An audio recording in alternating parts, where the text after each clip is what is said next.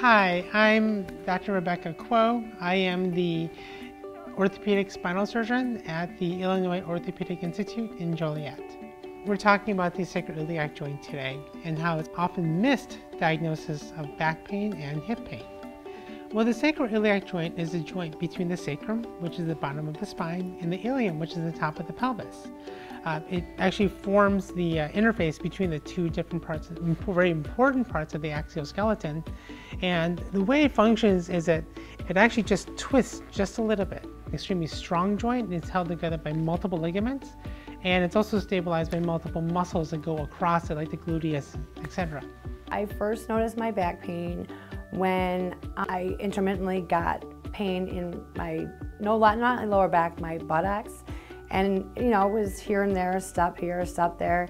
And then it became more um, prevalent, where it was almost every step I was taking.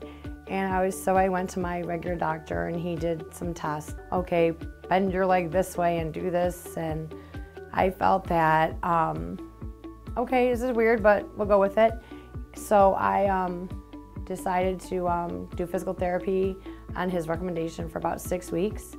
And after the six weeks, they were like, okay, did it help? It did not help? I'm like, it didn't help at all. So um, we continued further and he sent me to Dr. Kuo. The most common complaint I see with my patients with sacroiliitis is that they tell me they either have back pain or they have hip pain. But the one thing they do do is they actually point at the sacroiliac joint. And the most common provocative factor in their daily lives is when they get up and down from a chair.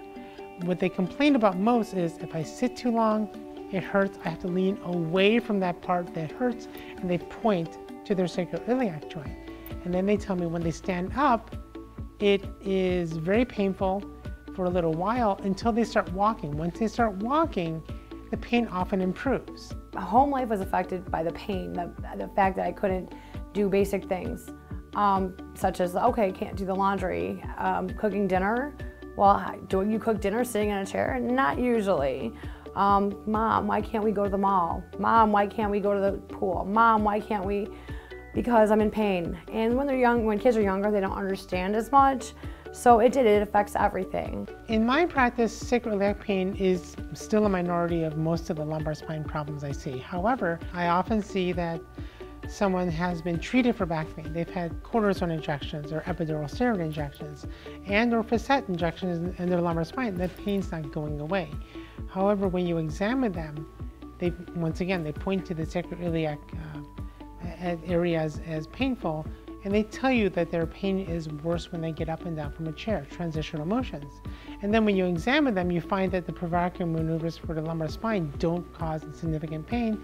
However, the provocative maneuvers, maneuvers for sacroiliitis do cause pain. After going on, you know, the the iFuse website, I, you know, I felt that I felt comfortable, and I felt comfortable with the fact that that Dr. Kuo knew what she was doing with this, with the iFuse, and I decided, you know, the, the, the, testimonials that I had read on, on the website, I was happy with, and I decided just to go ahead and let's go ahead with the surgery. Because the sacroiliac joint rocks or twists like this, if you just put a regular screw in there, there's always a chance that that can loosen the screw, no matter how big the screw is.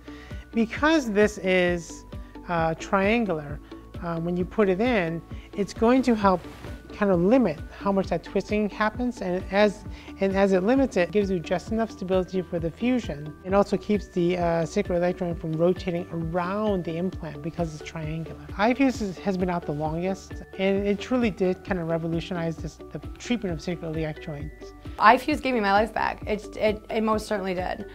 I couldn't imagine myself not having the surgeries. If you think you have SI dysfunction, and you wish to be evaluated, feel free to give us a call. We would love to be uh, to have the chance to take care of you.